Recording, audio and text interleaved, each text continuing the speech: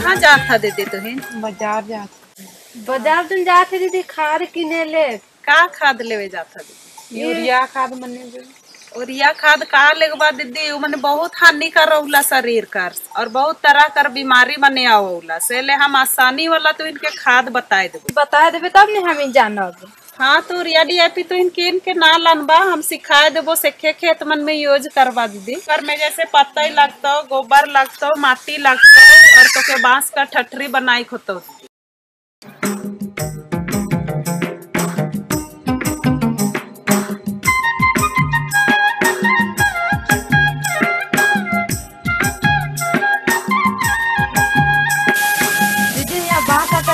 कटरी line दिलिया यहाँ समथल भी कर दिलिया अब अब का करे के अब नापे होता दीदी अथी छह फुट चौड़ाई नापे होता और लंबाई नापे होता दस फीट। यहाँ एक ठो डंटा गाड़ दे और फीता के पकड़ ले रहा यहाँ से दस फीट फीट हो गेलो अब जगह डंटा एक ठो गाड़ देवे लगल हियो। अब चौड़ाई नापे लगल हियो छह फीट नापे होतो से ले छह फीट के रखबे हिया से ले डं- डंटा गाड़ देवे लगल फिर अब उसी तरह एक साइड में नाप लिया।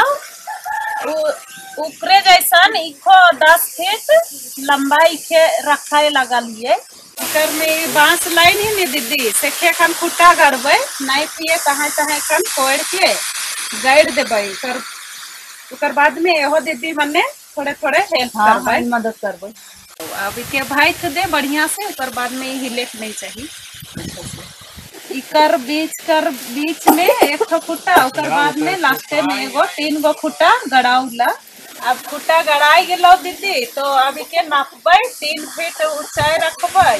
से नापे लगा लियो। अब ऐसनो चारो बटे चारो खुट्टा में नाप के चिन्हा लगाबे। अब काटी के यहाँ ठोक दहीन चिन्हे मारल जगह।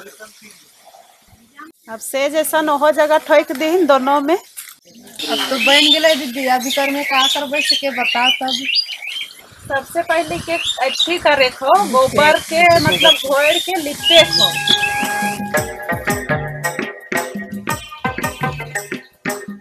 तो अभी पत्ते मन के हम इनके हुआ सबके डाले खो। कम्भर पत्ते लगाओ और अथी घाटो पत्ते लगाओ। कोई भी पत्ते ऐसे बगान में जैसे तर बगान हो तो कुछ भी पत्ते भी यहाँ हम डाले ले डाल सकते कहे कि हम लेप लगाए ही हुआ तो पूरा पिल्लू खाए जाते मन के।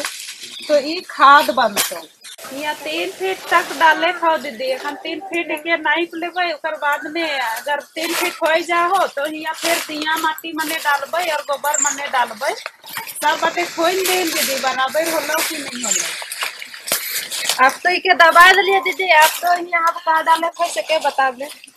हियाँ दिया माटी डाले खाओ अब चाल डाल देबै अब हो गेलो हियाँ पत्ते मने से अब अथी गोबर और माटी डाल लेबै तो ई गोबर माटी और दिया माटी का ले देवे ना दीदी, हम नहीं जानी ला तनी सन बताए देबे तो। गोबर माटी देवी ला कि दिया माटी डाल हिए नी तो गोबर देबै तो और से कीड़ा हो जातो मतलब पिल्लू हो जातो। और जल्दी से गल जातो, से लेके गोबर माटी देवे को होला काहे कि जते भी हम पत्ते मने डाल ही नहीं तो से एकदम पूरा सड़ाए देतो। में पिल्लू नी देख, अभी तीन महीना कर अंदर में अभी तैयार हो जातो बाद में के धूप ओते नहीं पड़तो से ले जल्दी पतई मने गैल जातो।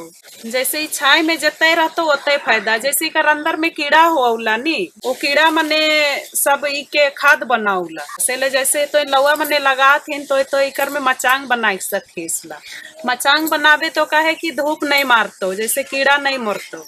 अब तो इनके एहे मेहनत करके खाद बनाए खो अपने से, और अपन खेत में डाले खो।